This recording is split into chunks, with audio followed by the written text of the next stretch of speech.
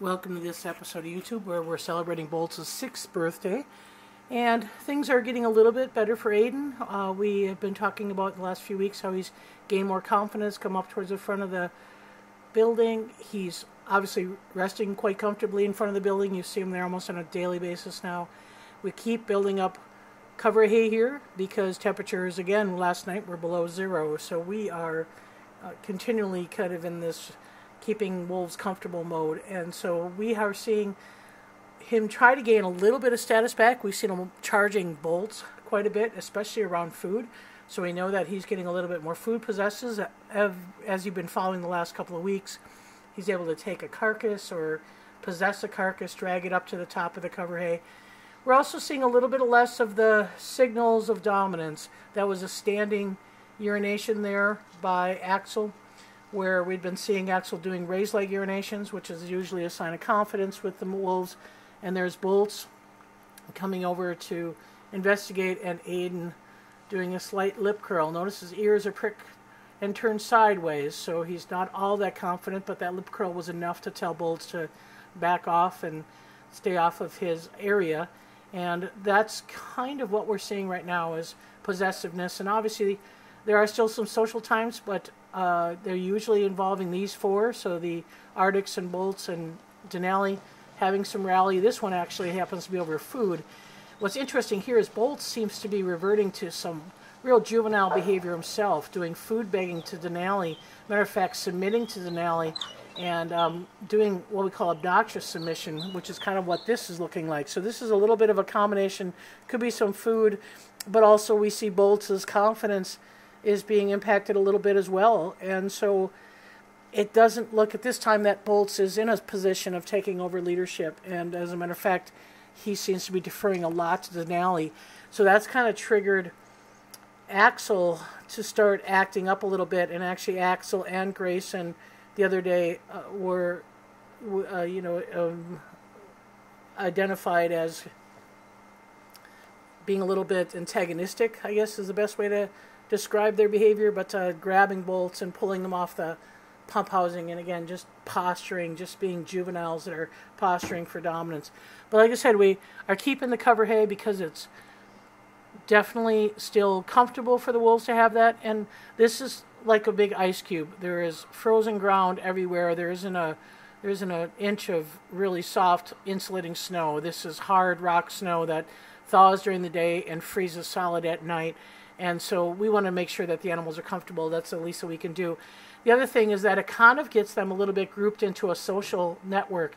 So here's Boltz, and there's Grayson, and then Axel, and then Aiden. And so it's nice that they're all seeking comfort in the same area. It kind of mentally keeps them together, even though Aiden doesn't always want to interact with the pack. But one thing I did witness, and I didn't get it on camera, uh, the other day, the pack kind of ran up the side of the hill, which they do, um, chasing Boltz or chasing somebody. And Aiden followed, and he really wanted to chase after him, uh, but still a little bit too intimidated. But he did the prancing, kind of that uh, stiff leg jump, uh, looked like a bison calf, you know, uh, trying to maneuver his way around. And it was, it was really, I think, um, positive for us to see him mentally want to run with the pack He's been doing short charges of Boltz, uh, you know, especially food related, but he just hasn't had the confidence to join in on some of the more social, gregarious uh, behaviors. So that's kind of what's going on. Um, like I said, these four are together, and you kind of wonder where Denali is. Well, Denali um, does what he likes to do, which is take over the largest space and uh, have it all to himself. So he's on the pump housing. No doubt he's probably got a cache he's laying underneath there, but he's taking it all in stride he doesn't seem like he wants leadership either, so I think it's going to be left up to one of these two yearlings to run this pack um, if Aiden does uh, retire. So a lot of people are asking me, you know, uh, are we through the worst of it? I'd say yes. I think Aiden's going to stay within this pack probably through this summer, but as the hormones ramp up in the fall, and last year we saw it in September where they really start to turn the tables on Aiden, I think that's when we have to be prepared to be able to transition not only Aiden, but maybe even Denali um, into retirement. Again, they're going to be 10 on April 27th, so that's a good timing. But they are howling as a group. And here's witness of that. So you can see all the pack members howling.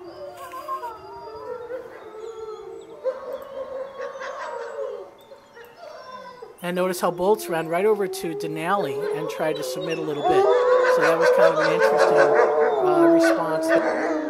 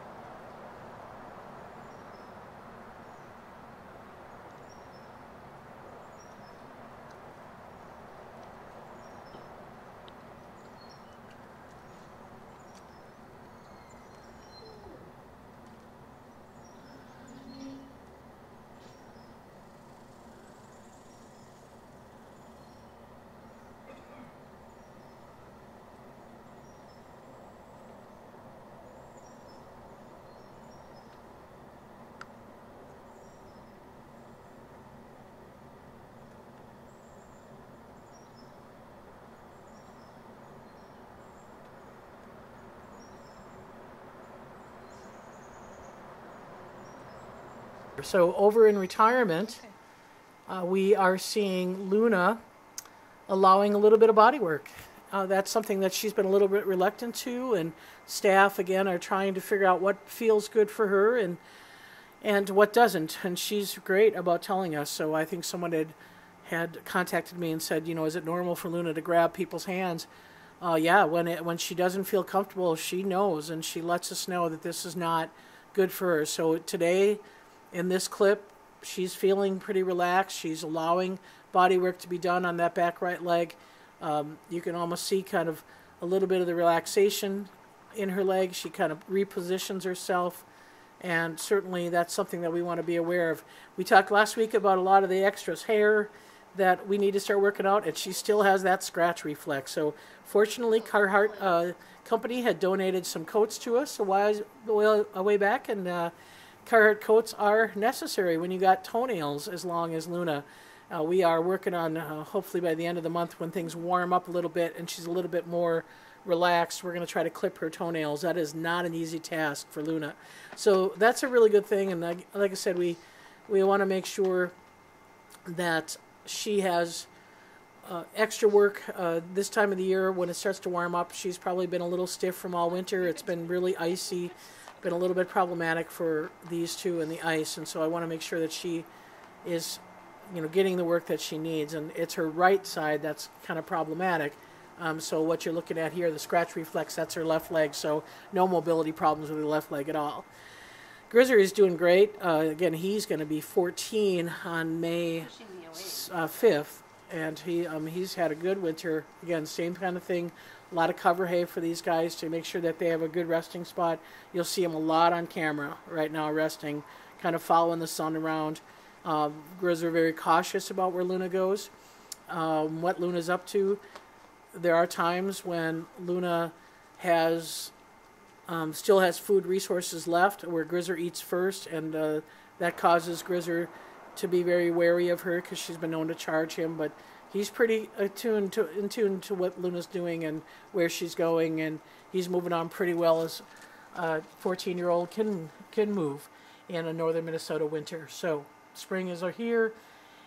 So just a reminder that wolf care donations are always accepted for birthdays in honor of each of these individual wolves. So we have Boltz' birthday on March 17th. Luna is March 25th.